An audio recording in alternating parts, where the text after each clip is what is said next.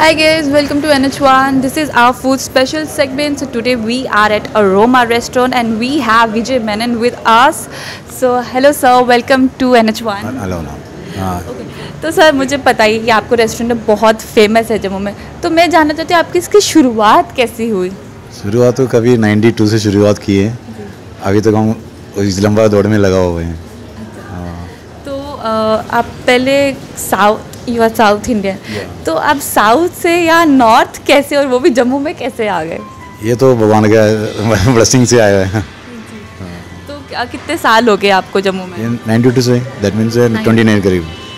तो why you started this business specially food business मैं starting में तो केसी में था। केस में काफ़ी साल सर्विस किया।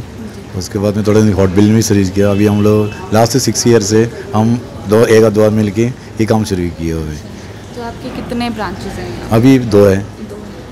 तो कैसा चल रहा है आपका काम और कितने लोग आते हैं आपके यहाँ पे?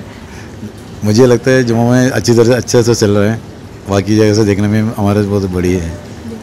अ, सर मुझे बताइए हम शो बहुत स्ट्रगल रहा होगा क्योंकि it's a long journey you started in 92 and now it's you know 2019 so I am sure it's a long journey so how difficult is it for you and how और क्या struggle रहा है आपका life में? देखो ये ये struggle जो है कस्टमर से डील करने के फ़ूड क्वालिटी को हमारा रेगुलर लास्ट ट्वेंटी ईयर से एक ही यूनिफॉर्म में फ़ूड क्वालिटी लेके आने रेसिपी भी लेके आने कस्टमर डीलिंग भी करने ये तो बहुत बढ़िया तो मुश्किल रहता है ये। बहुत मुश्किल होते हैं। हम कहीं आप अपने पर्सनल लाइफ तो आई नहीं कुछ भी। कोई नहीं। एग्जैक्टली exactly, मैं यही पूछना चाहती थी कि आई नो रेस्टोरेंट में काम करने के लिए आपको सुबह से लेकर शाम तक यहाँ रहना पड़ता है। आपका एक ये ब्रांच है एक दूसरा ब्रांच भी है गांधीनगर में।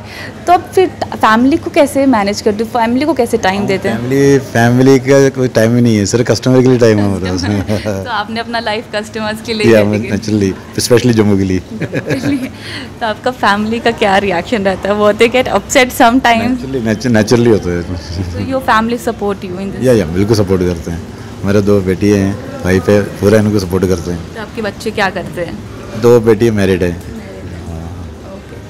सो so, ये जो आपका साउथ इंडियन है तो आपका ऐसा कुछ है कि यहाँ का जो फ़ूड है इससे कोलेबोरेशन ऑफ़ डोगरा फ़ूड और south Indian food is something like that जो मेरा जो रेसिपी है इसमें twenty percent south Indian touch है।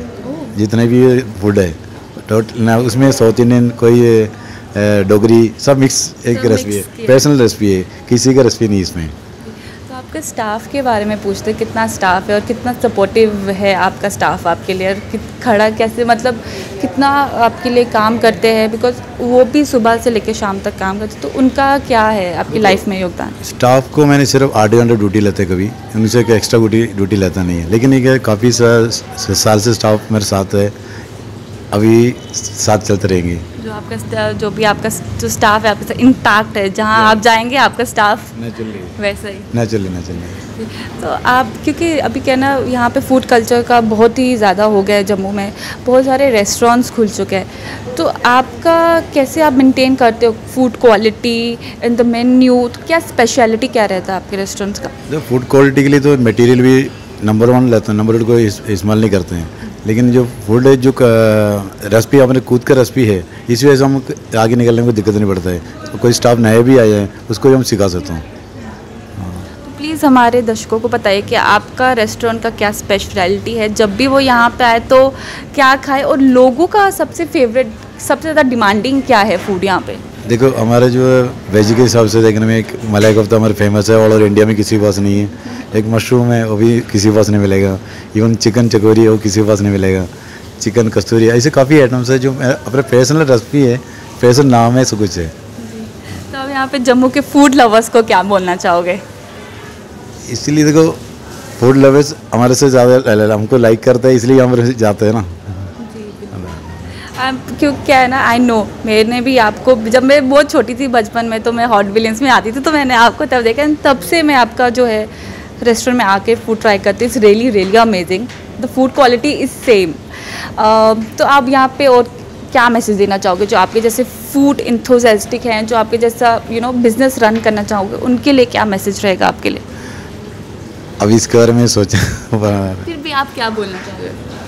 फ़ूड जो देखो फ़ूड का जो क्वालिटी फ़ूड हम देना है कस्टमर को देना है, वो मटेरियल के ऊपर डिपेंड है। और मटेरियल किस तरफ़ से परचेज कर रही हो, किस तरफ़ हम बनाना चाह रहे हो, उसी के ऊपर डिपेंड है।